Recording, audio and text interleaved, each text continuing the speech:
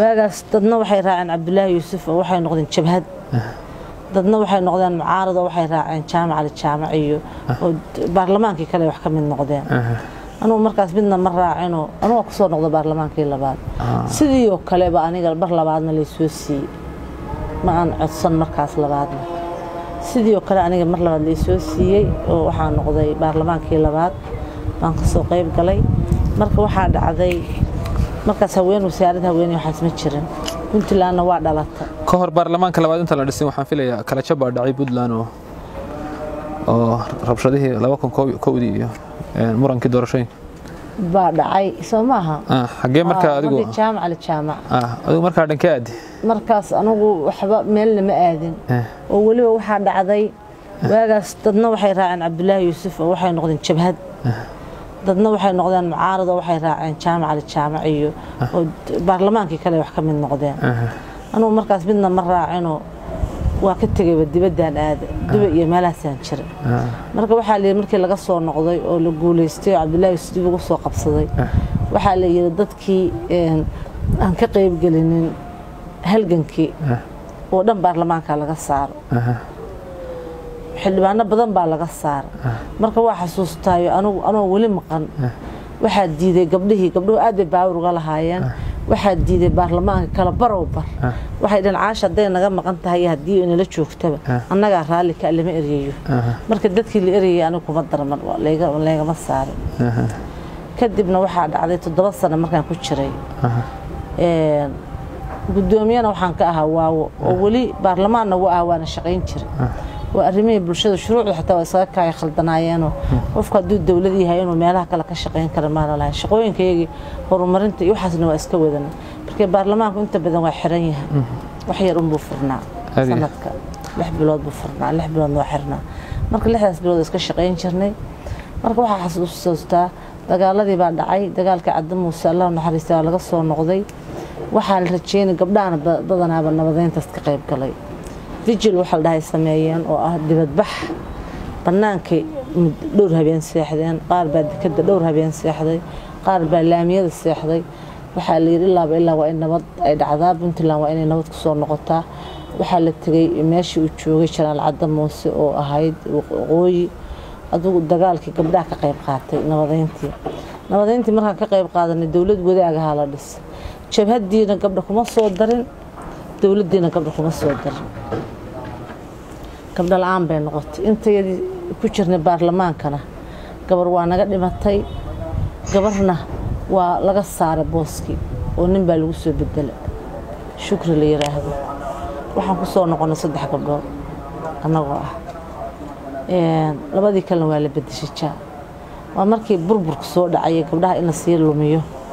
Innagoo annagoo sidii ah baa isla jabhaddii bilaabatay ee dowladdii wadaagga ahayd oo dhacday baa wasiiradii baa ijooyada ku soo jeestay. Ijooyadan waagii waxay ka qayb qaateen een, muxuu ahaa dagaaladii ka qayb qaateen qaar baa naagaha sabaayad dubi jiray qaar baa xagga aadi jiray. Ururka iyagii oo dhan waawo oo xafiis weyn lahaa hal maalin baa inta la yimid oo askar timid baa macaa kombiyuutaradeedii la qaata oo la yiri waawo waxay ahayd waawona waxay ahayd markaas Een, afar iyo labaatan urur baa ku jirtay ilaa iyo caabud waaq iyo balanbal baa ku jiray. Iyagaas urur waxaan ahayn dadkii puntlandna asaasay waxaana ahayn dadkii nabadeynta soo ceshay. Waxa abaalkaygii laga dhigay inaan jabhad ahayn. Oo waxaygii oo dhan baa la qaatay. Kombiyuutaradeedii baa la yiri waa la baarayaa markaasaan kacdoon bilowno. Oo wasaarad ma haysano xil ma haysano wasiir ma haysano wasaarad arrimaha haweenka u hadasha ma haysano. Haddana dagaal baana kugu daro waa inaan kacdoon bilowna markaasaan kacdoon bilownay markaasna waxaa soo dhowaa doorasho. Soo dhaweey doorashadaasna waa inaan ka qayb galnaa doorashadaas aniga marka waxaa layga dhiga musharax. Madaxweyne laba kun iyo afar iyo tobankii. Afartii? Laba kun iyo afartii oo shantii dhacaysay. Oo shantii dhacaysay. Markaas waxaa ahaa musharax. Cadda muuse ahaa. Oo markaas een, cabdulaahi yuusuf ka tegey oo la rabay inuu madaxweyne noqdo. Faroolaa ahaa maxamed cabdixaashi baa ahaa allah naxariisto. Ilaa dhowr iyo toban qof baa sharaxnayd anugu marka aan dhalin yaraada laakiin waa ka shacbiyad badnaa kulligood. Baarlamaankii oon toddoba sano ku soo jiray oo ah dee baarlamaanka isla bilownay baan ka mid ahaayo aan shacbiyad fiican ku leeyahay oo ilaa dhowr iyo toban qof ka heli karay ugu yaraan haddii inta kale qabiilka u jiinsato. Marka aniga laftirkayga markii waa lay qabtay waxaa la yidhi waddankan burbur badan baa ku jira. Madaxweyne cabdullaahi yuusuf waa ka tegey. Ciidamadii laascaanaa la qabsaday.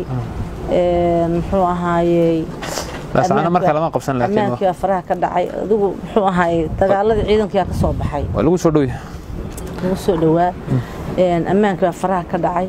Marka waxaa la yidhi bahashaan ma wadi kartide aniga laftirkaygu markii waxaan is lahaa waxbaan ku xogxoganayna in dumarka wax loo qabto. Marka waxaa la yidhi codadkaagana keen waa layla shiray caddana waxaad siisaa codka. Marka waxaan ku nidhi haddii aan caddo codka siinayno oon sharaxayno waxaan u baahnaa dhiil inuu nala galo.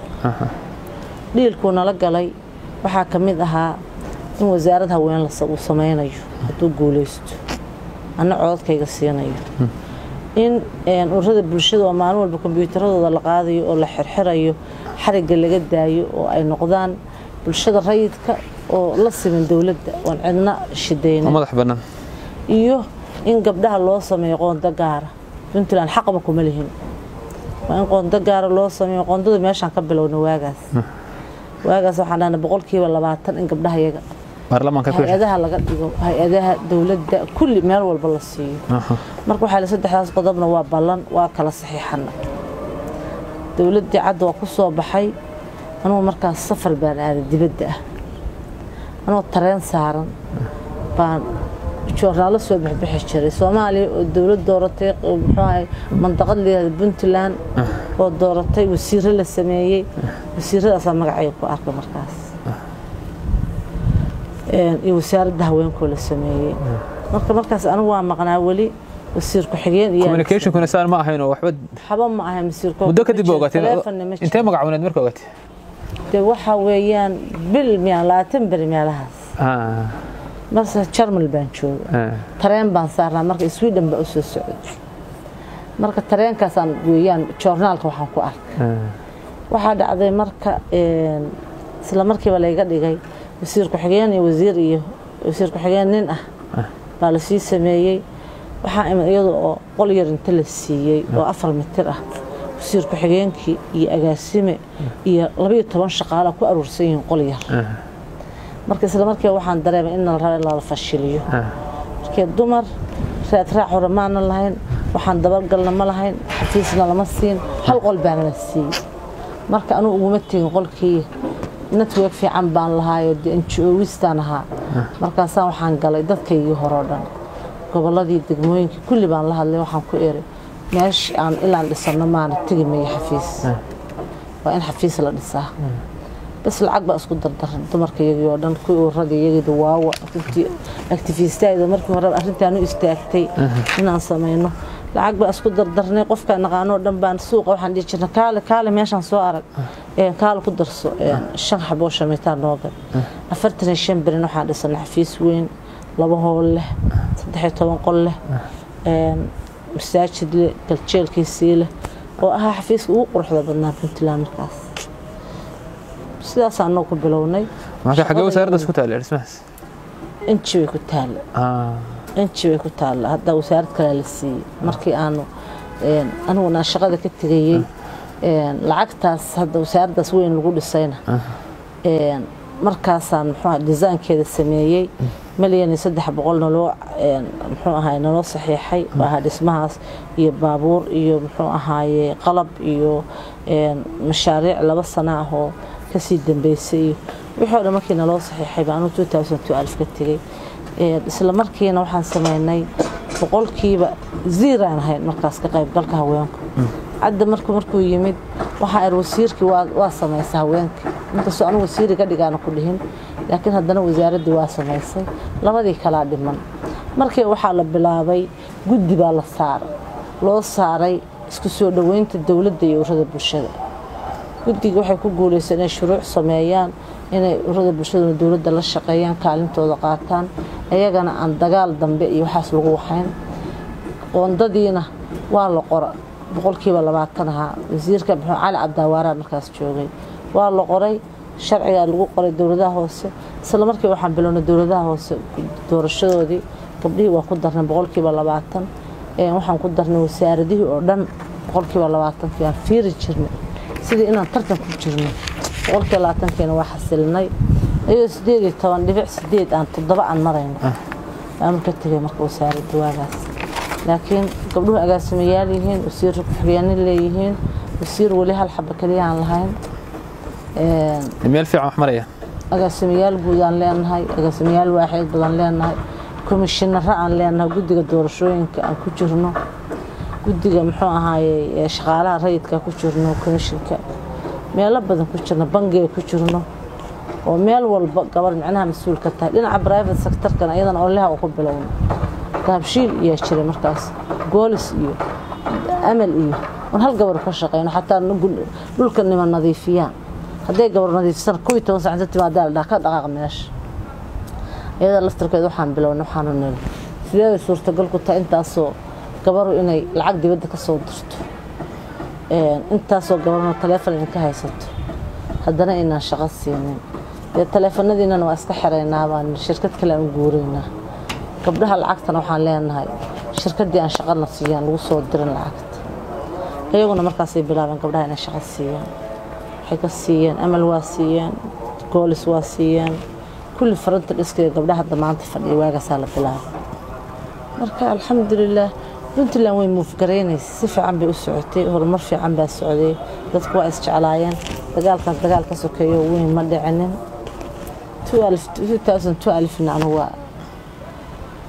waa isqabanay isqabanay madaxweynihii saddexaad oon la shaqaynayay dowladdii saddexaad oo faroole afartii sano markaan dhammaysanay oo dowladda baa waxaa hal sanaa lagu darayaa anigu waxaan dadkii sanad ka soo horjeeday waxaan aaminsanaa puntland waa loo soo dhibtooday dagaal uma baahnayn dagaal waa ka soo baxnay ilaa dhow saddex boqol iyo xoogaa wiil ku dhimatay anigu waxaan ku iri ma ihi dadka hadda wasiirada laga dhigay suuqa laga soo qabqabtay. Anigu waxa waaye dowladdaasna waa diiday inaan magac qabiil ku fariisto. Reerka iyaga waxaan ku iri laba kursay leeyihiin waxaan ku fadhiyey laba teeram ma raba teeram saddexaad inaan ku fariisto. Haddii aad iska ii magacaabaysid wasiirka haweenka ama wasiirkaa rabtid ii magacow laakiin aan qabiil ahayn waa la ii ogolaaday markaas. Ma ahayn wasiir qabiil ah. Cabdiweli baa ka dhigay wasiir qabiila ku soo ceshay laakiin farwala markuu joogay cumar maxamuud ba anugu ahaa. Cumar maxamuudna waxay lahayn labadooda wasiir. Aniguna wasiir saddexaad baan ahaa. Qaar baa ku doodi jiro dhihi jira. Gobol baa waxay leeyihiin saddex wasiir. Laakiin ma ahayn anugu waxaan dhexdhexaad. Puntland oo dhan. Marka anigu waxaan kala teliyey waxaan ku eri sanadka si kalean ku heli karnaa. Sidaan ku heli karna waxaa waaye ergadii markii horeta dastuurka ansixisay oo kale afar boqol iyo siddeetan inaan u yeerno inaanu niraahno muxuu ahaayey arrimo qabyo ahaa jira dagaalaa jiray markaas soomaaliya ee muxuu ahaayey waxyaabahaas jiray dowladda in sanad loogu daro. Sidaas aan wadadaas marno. Laakiin waa ku darsannay. Waxay noqonaysaa sharci jabis. Waaga cabdulaahi yuusuf bay ahayd iyo cadde dagaalkoodii jaamac. Muddo kororsi buu ka dhacay oo cabdulaahi yuusuf allahu naxariisa damca ku darsado. Marka waa layga diida waa layga bata keligay iyo waxaa noqday intii kaleo dhan. Marka waa waa isqanjaruufano isaguna muxuu ahaay waagi horeeto dadku u ixtiraam badan yahay wasiirada ugu ixtiraamaan ahaa. Aniguna si fiican baan u shaqayn jiray oo dowladda magaceeda inta badan baan ka shaqayn jiray iyo horumarkeeda inta badan waxa anugu keena bay ahaayeen. Aduu xoogaa iscoleysigaas markaa arkayna go'aan waxaan ku gaaray inaan ka tago. Resaanationkaygii baan dhiibay. Resaanationkii hayaan saddex maalmoodna wareegtaa la soo saaray la yiri shaqada laba wasiir baa laga ceershay.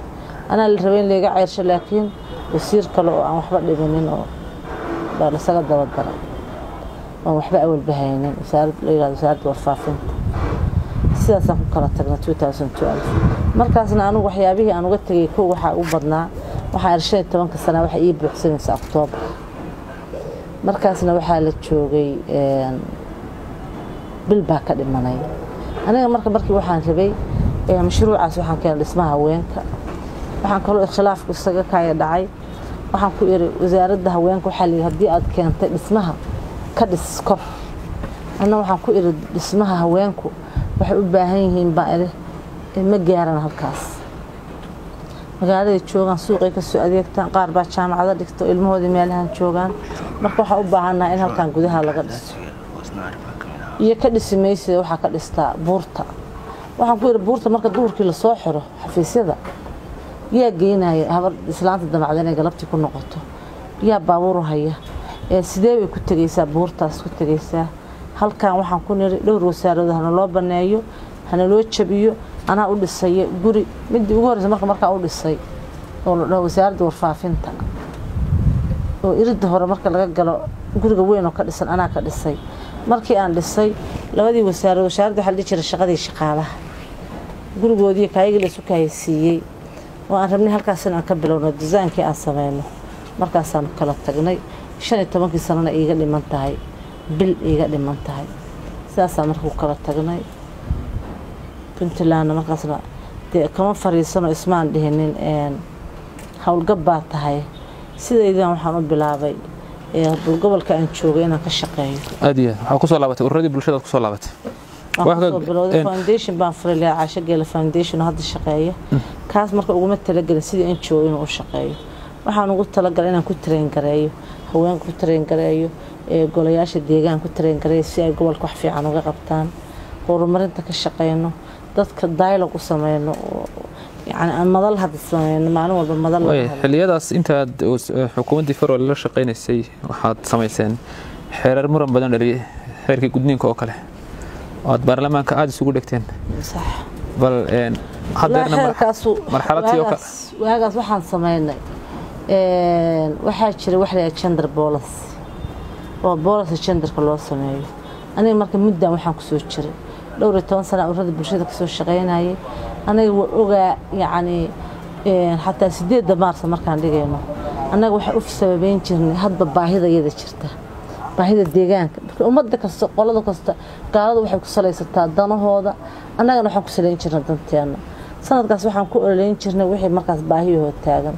Haweenka waxbarashadooda ha la baro. Sanad waxaan ku ololeyn jirnay haweenka muxuu ahay tacdiyadaha laga daayo sanad waxaan ku ololeyn jirnay gabdhuhu ha ka qayb qaataan arrimaha bulshada iyo siyaasadii waxaas ka qayb qaataan gender bolisigana sidaasoo kalean ka dhigna genderkoodii ay muxuu ahaa ajnabigu qoran jireen maanan qorana waxaan qornay. Mid ah baahiyaha sidee baahiyaha looga jawaabaya? Yaa ka jawaabaya. Marka waxaan lahayn yani haweenku inay helaan waxbarasho inay caafimaad helaan inay macnaha xuquuqaadka u sinaadaan wasaaradda haweenka oo kaleeto ma aha wasaarad caadi ah waa wasaarad wasaaradaha oo dhan ku xiran. Dhinaca waxbarashada wasaaradda waxbarashada uga xiran tahay dhinaca caafimaadka caafimaadka uga xiran tahay dhinaca haweenka iyo beeraha beeraha uga xiran tahay dhinaca biyaha biyaha uga xiran tahay marka ma aha wasaarade waa institution kulligood wada waxeeya marka waxaan sameynay ballanqaadiyo gender policy ku qornay. Aan leenahay wasaaradda haweenku inay kala shaqeysa arrimaha waxbarashada wasaaradda waxbarashada wasaaradda kala shaqe wax ballanqaad oo ah annagu aan moodifikaaraynay laakiin la yidhaahdo siyaasadda haweenka oo fiican oo qurux badan baan sameynay. Culumaa u soo bandhignay gobol kastaa ugu soo bandhignay waxay dhaheen waa tii ugu dambeysay.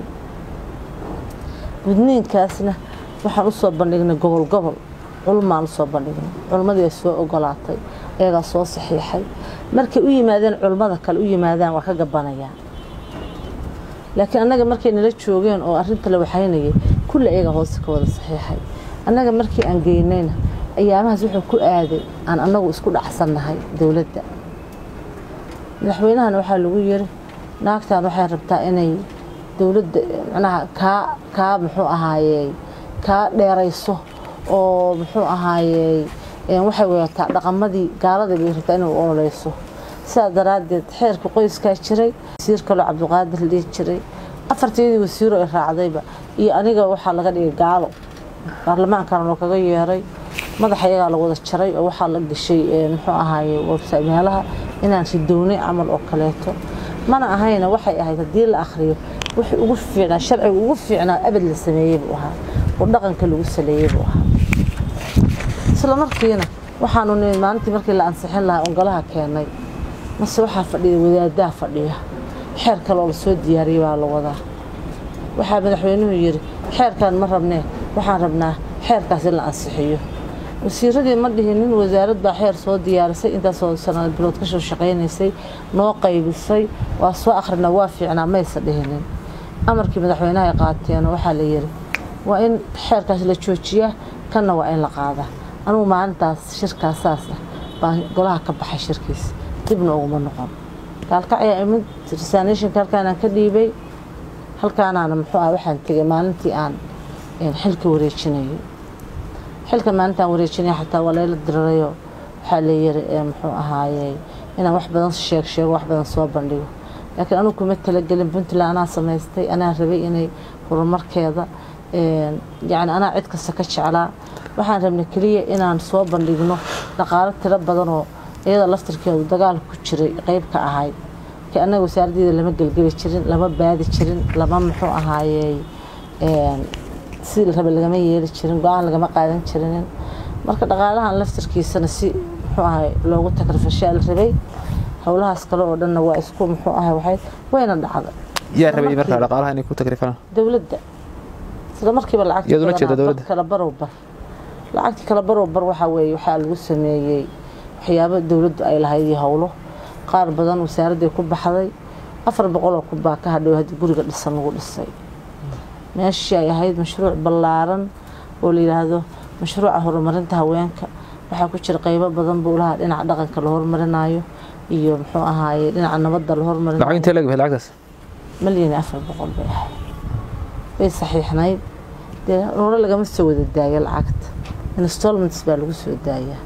Dhismaha oo kaleeto naqshadiisu waa samaysnayd habitat baa sameynaysay keliya in la bilaabo keliyaha ay ahayd naqshadii waa la sameeyey waa la cabiray meeshii oo dhan.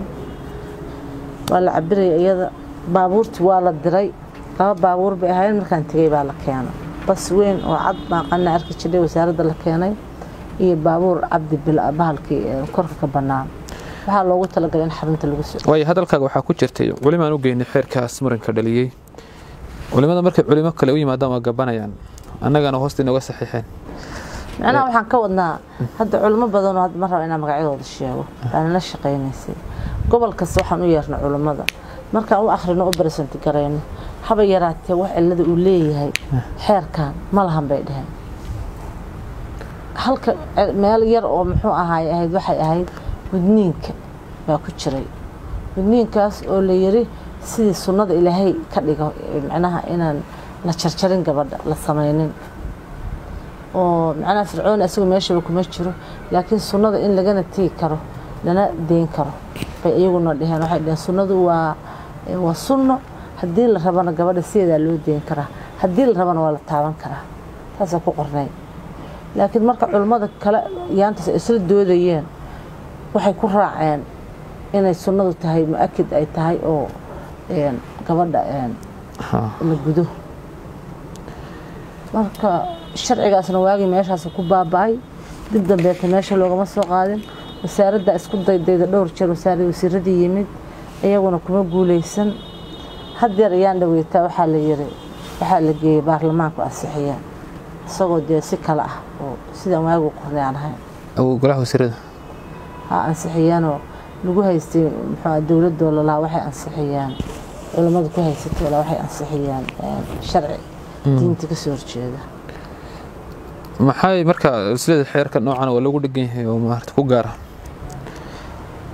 wallaahi horta waxay iska aaminsan yihiin wixii dumar ka yimaadaba in gaala wadato. Taasna wax sax maaha. Yani anu dad waaweyn baa nahay diin ku dhashay baa nahay dumar waaweyn baa nahay dhaqanka yaqaana ummadda taqaana. Gaala waxay tahay taqaano dibad wax ku soo baranay. Marka yani anaga nagama suurtoodo inaan dhaqankeena iyo diinteena yani wax gaala rabto aanu ku bedelno laakiin ayaga waxay iska aamineenba waxaa lacag ku bixiyey oo dhaqaalo ku bixiyey oo say rabaan u qortay. Ajnabi baa ku qortay. Ma jirtaa in marka laydinka taageero qoritaanka xeerkan oo dhaqaale laka taageera mashaariic buu ahaa. Mashaariicda waxaa la dhihi jiray horumarinta haweenka. Buu ku jira qeybka ahaa. In yacni xeerar taageeraya haweenka. Sida maaragtay waxaa la dhahaa ballanqaadiyo ballanqaad buu wada ahaa. Wasaaradda muxuu ahaaye waxbarashadu waxay ballan qaadaysaa in ay gabdhaha iyo ragga waxbarashada u sinaadaan inay gabdhaha tiro badan siiso wasaaradda caafimaadka inay haweenka caafimaadkooda waxyaaba ballanqaad noocaas u ahaa. Way kaga mahad celinayna caasho geele waqtigaaga aadka u qaaliga ah hal waraysi koley kuma soo koobi karno waxyaabaha aad og tahay waxaan rabay bal intaad ka tagtay dhanka siyaasadda dowladda puntland waxaad mar gashay guddiga dastuurka ayaad mar guddoomiye ka noqotay oo lagugu daray. Dastuurka soomaaliya muddo labaatan sana ayuu hadda qabyo yahay. Waxyaabahaad uga tagtayna saad ku sheegtay shir jaraa'id markaad ka tegaysay. Inuu dhammaado dastuurku lama rabo ayaa tiri. Marar kala duwan. Bal guddiga iyo waaya aragnimadaadii guddigaas intaad ka mid ahayd iyo waxa aad isku dayaga aad samaysay iyo hadday wax kuu qabsoomeen walaalo dastuurka waxaa shan iyo toban chapter buu ka kooban yahay. Dastuur af soomaali ku qoran. Waa dastuur shaqooyin badan soo maray oo wax badan laga soo shaqeeyey guddi baa toddoba sano waxay ku haysteen jabuuti waa yimaadeen guddi kaloo la yiraahdo muxuu guddiga khubarada oo jawaari iyo ku jireen baa loo dhiibay iyagana wax ka sameeyey haddana qoladii maamul goboleedyadoo la dhihi jiray high level muxuu forum oo ahaa maamul goboleedyadii iyo dowladdii sheekh shariif. Saxiixayaasha la dhihi jiray baa haddana uganda inta la aaday wax ka farafardeeyey oo waxaa kaloo ciladahoo jirtay ingiriis buu ku qornaa. Gaala matalan madax ka ahayd gaalada waxay dhuqulka ingiriiska hormariyaan meeshii soomaaliga la hormarin lahaa. Marka soomaaliga turjumaad buu noqdo turjumaaduna waxaa weeye la jiifiyaano bannaan. Haddaa ingiriiska nuqulka akhridid wuu saxan yahay soomaaliga haddaa aragtid waa khaldan yahay waxyaabahan isqabsiga madaxda keenay. Oo maalin walba dastuurka laysku qabanayo. Dastuurka marka dib eegis buu ahaa annaga wixiina loo dira. Ma ahayn dastuur cusub soo qora.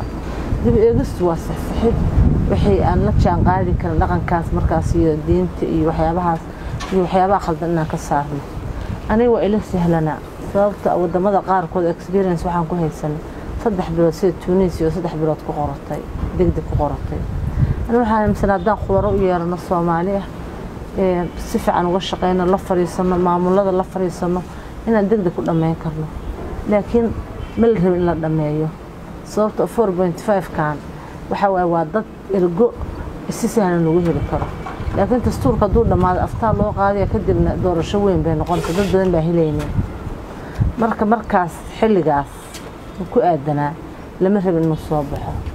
Marka aad baa loo joojiyey waxaa layidhi sugaa lacag heshaan sugaa dhismo weyn aad degantiina heshaan anna waxaan aaminsanaa yacni inuu aan puntland u dhashay oo haddaan imaado aan cid kastana ku soo martigelin karo dowladdana kala tashan karo. Galmudug kaleeto sideedaan saaxiib la ahaa aan ka martigelin karno. Gobollada kaleeto haddaan tagno jubbaland na martigelin karto. Waxaan aaminsanaa jaamacadaha haddaan tagno inay forum noo samayn karaan enjooyada haddaan dhahno waxaan u baahannahay madal aan ku sheegno in loo samayn karo. Uma qabinba anugu ma aaminsanen lacag badan inuu u baahan yahay.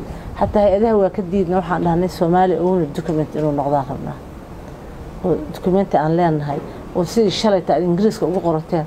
Ma rabne waxaan rabnaa af soomaaliya inaan ku bilowno ingiriiska dhow la turjumo bajetkana waxaan rabnaa in dowladdana loo gasho. Marka wixii o dhan baana laka adkeeyey. Bajetka si fiican loo kuma gelinin muxuu ahaayey annaga waxaan lahaa hoteel baan deganay dadka loo doortay laftarkooda dad wadanka deganaa ma ahayn. Dad waxay ahayd iska maqan. Kooranku markiisa ma buuxin. Marka aad baan waxaan u dareemay inaan rabinin dhammaadkiisa. Waana midda keentay markii dambe inaan markaan lagu dhaqaajin weynay. Oo gobol aadi weynoo suga kan kala suga kan kala sugana laku hayo. Wixiina ay suurtogeli waayeen inaanu ka tala baxno adiga iyo marka ayaa ka tegey. Waxaa ka tegey ani keliyaa ka tegey. Afartii kale waa joogeen. Dee dad awal waxay dibadda ka yimid oo dibadda aadi jiray oo iyaga laftirkooda mararka qaarkood markii la rabo inaan wax oleyna si aan kuhoranka u buuxsan tigidhaa loo jari jiray.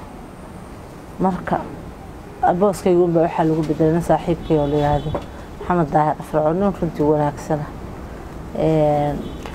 aniguna kula taliyay waxaan ku yidhi gal waa caadi baan eri yacni adigu un ku dadaal sida ugu fiican dastuurkaas ku dhammaado nasiib dara shan sanoo kale sii joogeen iyagoon tan iyo hadeertaan waxba ka habeen waxba ka samayn. Laakiin jabtaradii akhriyey si fiican u akhriyey baa dowladdeena dhammaatay wakhtigeedii marka dastuurkaas waxaan aaminsanahay in siyaasiyiintu iska haysato iyagoo ay rabaan fawdadan qaabka wax lagu dooranayo. Laakiin haddii dad daacad ah ay ku soo qoraan oo helaan inuu ku dhammaan karo muddo kooban. Maxaa yeeley markii si fiican loo qoro oo waxyaabaha ee barkada madaxdoo kaleeto midba jabtar buu wuxuu rabaa suu rabo in loogu qoro. Dee waxay ka dhigteen shaati ay leeyihiin oo kale say rabaan ugu labistaan. Matalan midda wuxuu leeyahay iga daa ra'iisul wasaaraha. Waxaan rabaa madaxweyne ku-xigeen iska awoodiisu yar tahay. Ra'iisul wasaaruhu dhib buu noqday maalin walba muxuu ahaaye muran bedelaad waxaas qaarba waxay rabaan in muxuu ahaaye resourciga dad waxay leeyihiin magaalooyinku si u kala weyn ha loogu qaybsho qaar waxay leeyihiin dhikor ha laga dhigo.